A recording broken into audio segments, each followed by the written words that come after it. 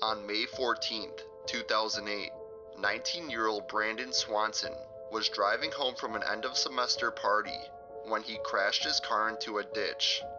He called his parents and was on the phone with them as he was unsure of his exact location. He told them that he believed he was by Lynd Road, and they drove over to pick him up. They were on the phone with him as they were driving, but were unable to locate him. The call would suddenly go silent after hearing Brandon scream, Oh shit! Brandon and his car were never found, and to this day, his case remains a mystery.